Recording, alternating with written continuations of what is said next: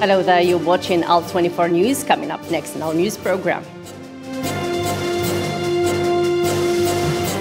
Two loud explosions rocked Uganda's capital Kampala early today, Tuesday, sparking chaos and confusion as people fled what is widely believed to be coordinated attacks.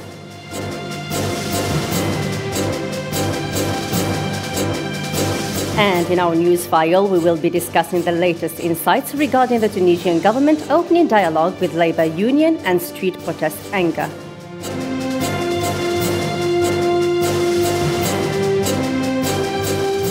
And finally, a virtual meeting was held by the leaders of two superpowers, the US and China. The meeting called for lowering the tension between the two poles and tackled numerous files. Hello again and welcome. First, in our top stories, Ministry of Foreign Affairs and National Community Abroad stated that the ministerial meeting of African Union Peace and Security Council, which was organized via remote video communication technology, was devoted to discussing the issue of combating terrorism and violent extremism in the African continent. The head of the Algerian diplomacy, Lamamra, highlighted the need for, to formulate and adopt a comprehensive and integrated approach based on specific circumstances of each country and aimed at addressing terrorism roots. Lamamra noted that his statement is based on lessons learned from Algeria's experience in the field of combating terrorism and violent extremism. The first session of the dialogue between the government and the Tunisian General Labour Union was held under the chairmanship of its Secretary General Noureddine Taboubi in the capital Tunis. Prime Minister Bouden stressed that the dialogue with labour organization must be honest and frank to establish in participatory action between the two parties as they must move at steady pace towards radical reforms and achieve demands of Tunisians. Islam Sida reports.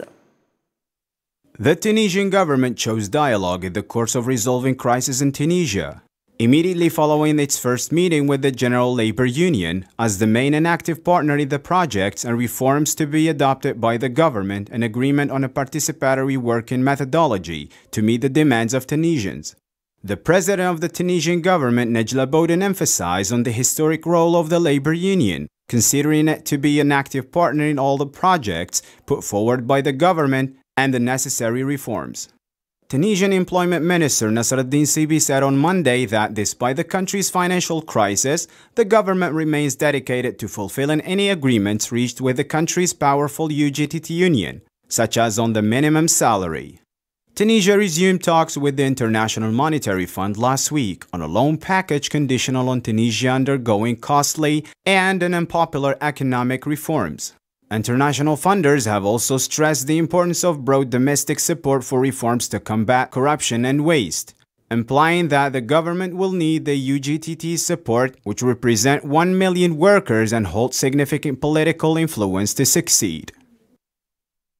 And to talk more about the latest insights regarding Tunisia, I am joined live by Mohamed Qirat, Professor of Public Relations and Mass Communication at Qaboos University in Muscat, Oman. Well, first of all, welcome, uh, Mr. Mohammed Qirat. I would like to ask you in the beginning, what do you think that the dialogue that Tunisian government has started with labor union is going to succeed? Well, first of all, whenever you have dialogues, you have talks between political parties, between uh, the president and the very strong uh, uh, uh workers' union, UGTT. This is a good sign. Uh, mainly, the UGTT is asking for not reinstating the parliament because they, you know, they, they said that they didn't uh, do any good to the Tunisian people. But now uh, we have to think of other uh, political parties, other uh, bodies in the country that should also cooperate and work, you know, and get into this dialogue.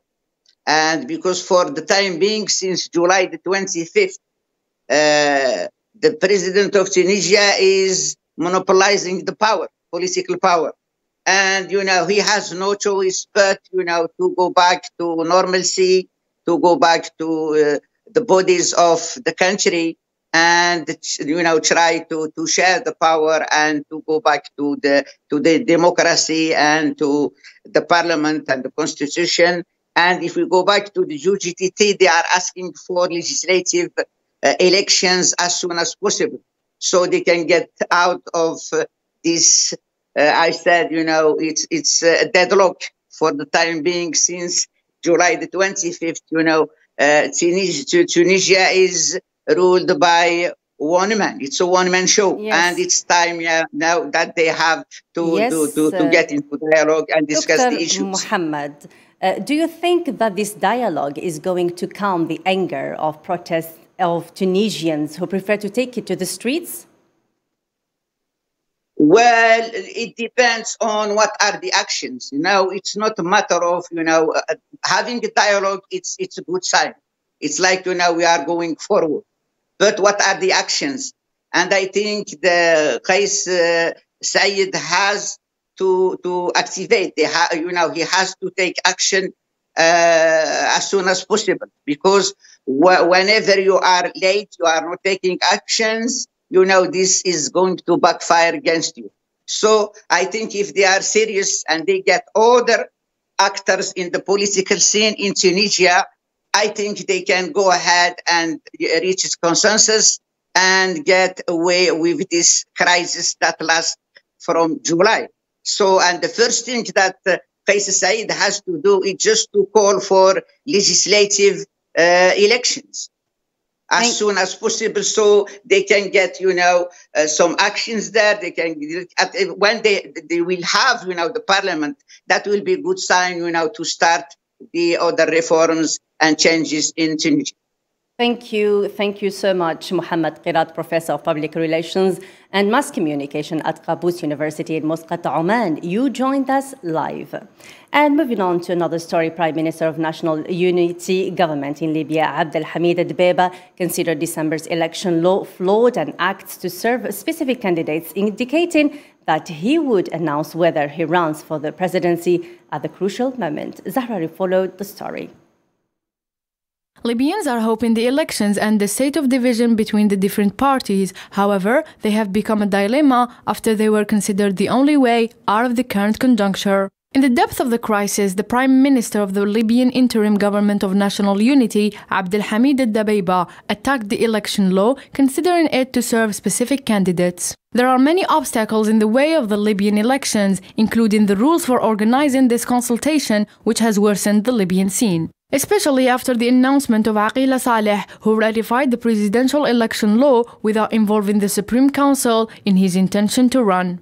Saif al-Islam's legal status is also a matter of controversy as he is wanted by the International Criminal Court for crimes against humanity.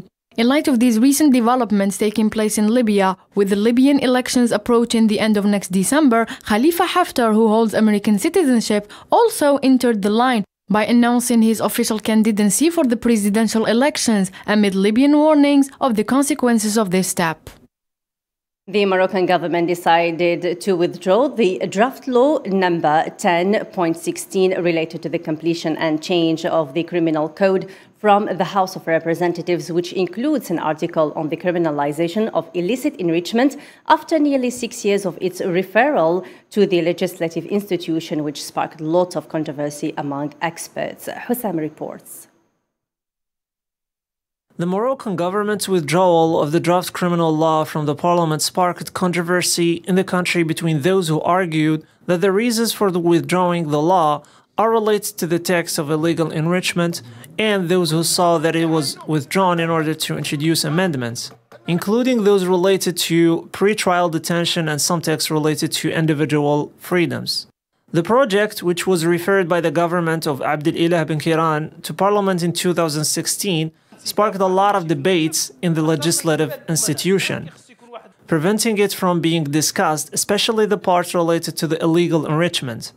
Amid the surprise of the Moroccan people, many political parties expressed their concern, describing what happened as a dangerous slip of the government. The Moroccan government justified the move by the necessity of discussing the controversial bill as a whole, Mustafa Baitas, minister delegate to the prime minister in charge of relations and parliament and the government official spokesperson, said that the latter decided to withdraw the draft criminal law from parliament due to the difficulty of discussing it in parts. A 26 year old Palestinian was put to death on Monday after the clashes between Palestinians and the Zionist occupation forces in the city of Tubas. Palestinian Ministry of Health stated that Saddam Hussein Beni Ouda received a bullet on his left shoulder to penetrate to his heart. Zionist occupation forces started many arrestations around the country, starting with seven citizens in the West Bank.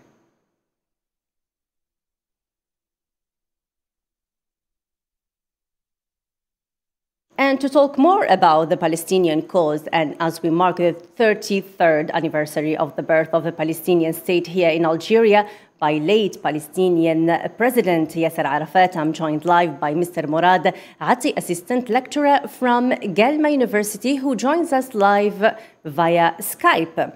Well, first, can we say that the Palestinian cause is going through a critical stage is it caused by Arabs' normalization deals or because of a decline in the international interest since Joe Biden, President of the United States, has not taken any step towards the Palestinian issue so far?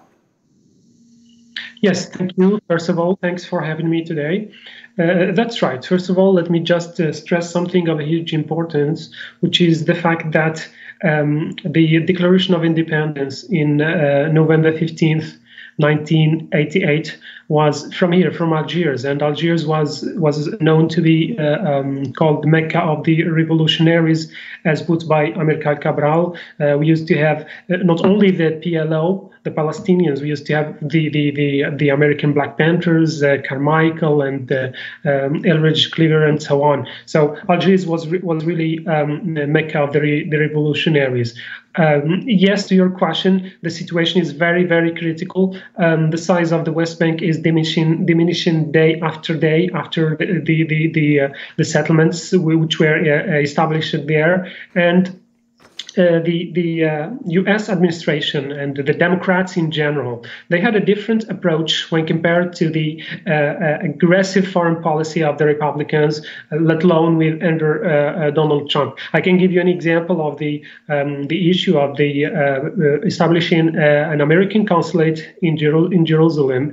Um, the Israelis, for, for, sure, they said no to that. We only have one diplomatic rep- representation. So the Biden administration administration is totally different from the, the predecessor. And yes, the situation is, is critical at different different levels uh, after the normalization process with several Arab countries, mainly those of the Gulf countries and the the the, the uh, Kingdom of Morocco as well. Now the Algerians are the, the only ones who really back up the Palestinians um, openly. There is nothing to, to, to, hide. And the, the normalization process affected the Algerians as well, with the visit, for, for instance, of the um, Israeli uh, Minister of Defense to, to, to Morocco. This is an act of war because the Algerians do back the Palestinians. Do you think, uh, Mr. Murad, that the internal Palestinian, Palestinian, if we can call it this way, affected the course of the Palestinian cause?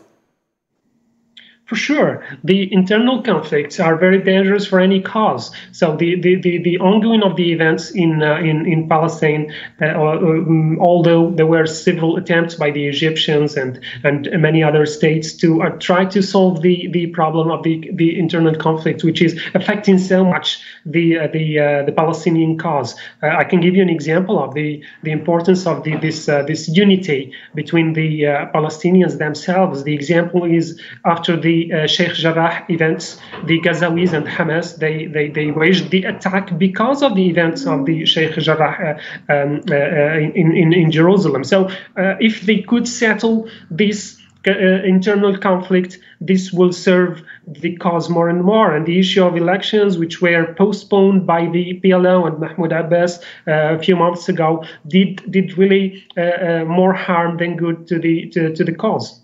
Thank you so much, uh, Mr. Morad Atti, Assistant Lecturer from the Guelma University. You, you joined us live via Skype.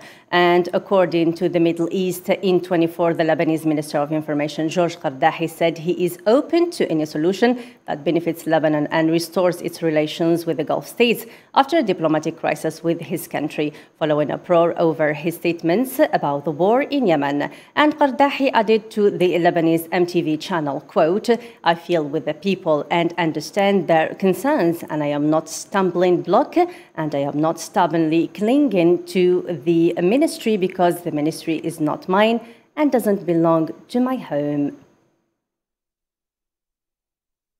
Two loud explosions rocked Uganda's capital, Kampala, early today, Tuesday, sparking chaos and confusion as people fled what is widely believed to be a coordinated attack.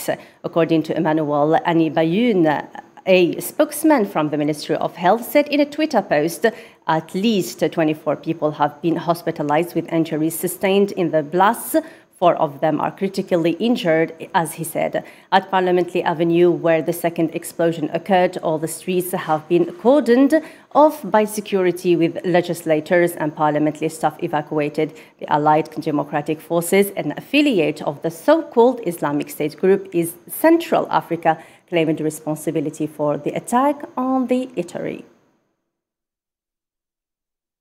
A leaked report stated that the Nigerian army fired live bullets at peaceful demonstrations at a toll gate in Lagos in October 2020. The violence committed by the army could be considered massacre. The shooting ended weeks of protests against police brutality. Hussam reports.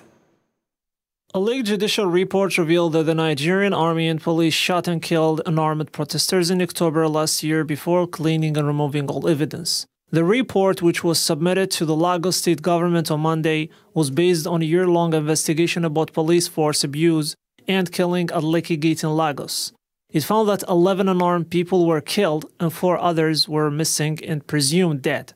The report identified a total of 48 victims. The leaked report described the incident as a massacre and said that most of the army officers deployed at the toll gate were not fit and suitable for service and recommended that some policemen should be prosecuted for their actions. It's worth mentioning that in October 2020, many thousands of mostly young Nigerians took the streets in protest across several cities, demonstrating against police brutality and bad governance. In the midst of tensions between London and Paris over channel crossings, French police cleared a major migrant camp on Tuesday, today that was hoped to roughly a thousand migrants seeking to reach Britain. More details in this report.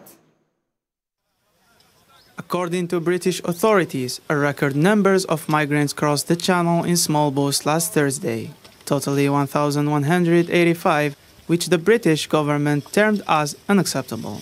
On Monday, French Interior Minister Gérald Darmanin met with his British counterpart Priti Patel after giving a frank interview in which he stated Britain should stop using us as a punch ball in their domestic politics. In a tweet, Priti Patel said, quote, Last night I spoke to my French counterpart Gérald Darmanin to discuss the problem of small boats crossing the channel. We discussed a range of additional steps to tackle the problem and restated the importance of working together to make this deadly route unviable. Unquote. For his part, Darmanin claimed on Tuesday morning that police had removed the camp in Grande-Synthe near the port of Dunkirk. Relations between France and Britain are at the lowest point in decades due to a host of disagreements on issues, ranging from migrants to fishing in the Channel, as well as a submarine contract with Australia. British Prime Minister Boris Johnson stated last Monday that his country will head to Article 16 clause if they don't come to a radical negotiated solution to the Northern Ireland trade problem. Ayedi Usama reports. The crisis between London and Brussels over Northern Ireland Protocol issue started a tension in the region after Brexit decision taken by UK government. British Prime Minister Boris Johnson stated on Monday that he's concerned about settling a negotiated solution to the issue and that if his government will rise a dispute, it will do it in a proper way, as he put it. Boris Johnson, during Glasgow COP26 climate summit, stated that his government is in seek of a negotiated solution, and he threatened that he would invoke Article 16, which he considered a legitimate part of the protocol. Complications between Brussels and London rose in the last few weeks. Britain was not satisfied about the agreement signed in 2020 and threatened to trigger the emergent Article 16 clause that would provoke trade war in the region and Europe. Brussels hasn't shown any reaction to the last declarations of the UK Prime Minister Boris Johnson. However, it will likely depend on how far London goes with the measures that will take. British government and the European Union agreed last week on intensifying efforts to find a radical negotiated solution to the post-Brexit problem, which concerns trade issue and the borders between UK and European Union after Brussels welcomed Britain's speech about the matter. As a reminder, the Article 16 is the Protocol on Northern Ireland, commonly abbreviated to the Northern Ireland Protocol. It is a protocol to the Brexit withdrawal agreement that governs the unique customs and immigration issues at the border in the island of Ireland between the United Kingdom of Great Britain and Northern Ireland of the European Union. The European Union agreed to set up sanctions against Belarus over thousands of migrants stranded in freezing forests on its borders with the EU.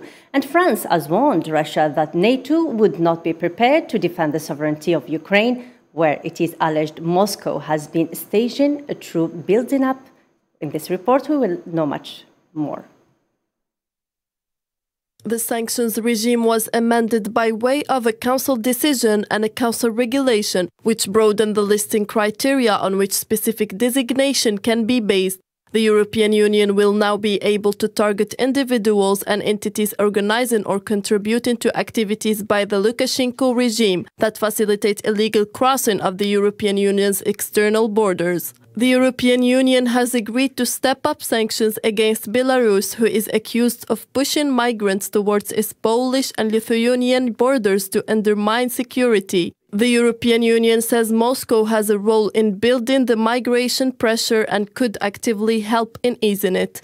I talked with the Belarusian minister to tell him that the situation was completely unacceptable, that humanitarian help has to be provided and that we have to think about how can we solve the problem, uh, starting by stopping the flow, stopping the flights. This is almost done. The sanctions are always effective. They're always effective because they affect people. They affect their wealth and their capacity of movements. And today we are going to approve a new package of sanctions against uh, Belarusian people responsible for what's happening in the country. French President Emmanuel Macron raised concerns as Moscow said to be staging a troop build-up near Ukraine borders. An advisor to Macron told reporters of the conversation Macron initiated via phone call to Russian President Vladimir Putin as part of an outbreak of conversations between Western leaders and Russia, Belarus, and Ukraine. The French leader spoke of his strong concern over the situation on Ukraine's borders. Today's decision follow the European Council conclusions of 21 and 22 October 2021, in which European Union leaders declared that they would not accept any attempt by third countries to instrumentalize migrants for political purposes condemned all hybrid attacks at the European Union's borders and affirmed that it would respond accordingly. A virtual meeting was held by the leaders of the two superpowers, the US and China. The meeting called for lowering the tension between the two poles and tackled numerous files. Taiwan issue was on the top file that the two leaders discussed. Ayeti Usama reports.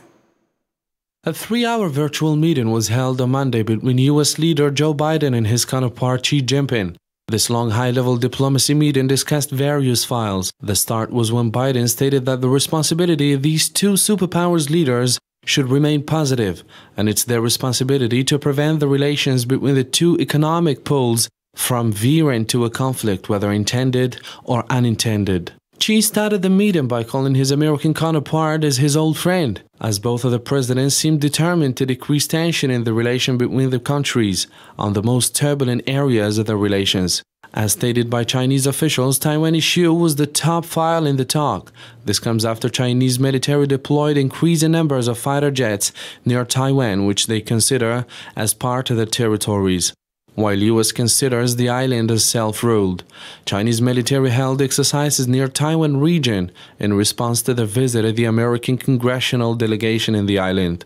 Chinese Foreign Ministry spokesman Zhao Lijian stated Monday that Taiwan issue concerns China's sovereignty and territorial integrity, adding that it's China's core interest. Despite the domestic challenges, Biden was described to come to the meeting from a position of force, while Xi stressed that China and US should coexist in peace and respect the win-win cooperation between the two countries. No joint statement was released by the two leaders, as they both showed that face-to-face meeting is more preferable for further discussions. Aung San Suu Kyi has been accused with 15 others of manipulating the 2020 election. Such allegations were used by the army to justify the coup, which took place in February. Islam Sidi reports. Myanmar generals set off charges against the former president Aung San Suu Kyi along with 15 others, including the former head of commission for forging elections. The accusations come at a time when Myanmar military led a coup on February on the pretext of violations and lawless actions, after which Aung San Suu Kyi's National League for Democracy won in a landslide during the November ballots, in which monitors who observe the polls emphasize on the credibility and transparency of elections. On the other hand, the overthrown Myanmar leader lawyers have said that she couldn't attend a court hearing for health reasons. According to the state-run Global New Light of Myanmar, the 16 members violated a number of electoral laws, including over military polling booths, advanced voting for people above 60 years of age, and getting the names of people who had no right to cast votes on the ballot. The coup put an end to a 10-year democratic experiment in which the military was guaranteed a role in governance under a constitution crafted by the latter. The coup has sparked enormous outrage resulting in protests, huge civil disobedience, and the formation of People's Defense Forces to combat the military. According to the Assistance Association for Political Prisoners, which has been tracking the response, 1,260 individuals have been slain as security forces try to suppress opposition to their government. OPEC said that global oil market will switch from being under to oversupplied as early as next month as the economic rebound from the coronavirus pandemic flatters. Marwa reports. OPEC Secretary General He Mohammed Sanusi Barkindo attended the opening ceremony of the 2021 edition of Abu Dhabi International Petroleum Exhibition and Conference in Abu Dhabi, United Arab Emirates. The four day gathering that started Monday is taking place in the wake of the COP26 climate talks and with energy prices soaring. The oil market Brent crude has climbed almost 60% this year to above $80 a barrel, while natural gas prices in Asia and Europe hit record highs recently. OPEC Secretary General Mohammed Barkindo said on the sidelines of an energy conference when asked if he was sure there would be an excess in oil supply next year. He also said that the global oil market will switch from being under to oversupplied as early as next month as the economics rebound from the coronavirus pandemic falters. Quote, the surplus is already beginning in December, end quote. He also told reporters these are signals that we have to be very, very careful. His comments come in the shadow of US politicians putting pressure on President Joe Biden to bring down gasoline prices, possibly by banning crude exports and realizing oil from the government's strategic reserve. Biden's next move has been a key topic in Abu Dhabi, where some of the world's biggest oil and gas companies and many energy ministers are attending the ADIPEC conference. The outlook means OPEC is justified in only raising production gradually, according to Secretary General Mohammed Barkindo. The comments are another signal that OPEC and its partners will continue resisting US pressure to pump faster and will stick to their strategy at their next meeting early next month. And this is just in as the Algerian national team is playing against Burkina Faso in Mustafa Tchaker Stadium. And uh, apparently, Algeria has scored 2 to 0 against uh, Burkina Faso. And now let's move to another story where Washington expressed its denunciation of Moscow's dangerous behavior in its anti-satellite missile test, warning that the, this test has left thousands of debris, which threatens to the safety of astronauts working on the International Space Station. Noor Melissa reports. Russia fired a projector into space to destroy one of its own satellites. Dangerous, reckless, irresponsible.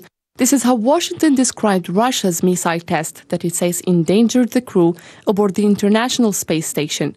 creating thousands of debris that forced the ISS 7 astronauts to shelter in capsules. NASA issued a statement saying that it will continue monitoring the debris in the coming days and beyond to ensure the safety of its crew in orbit.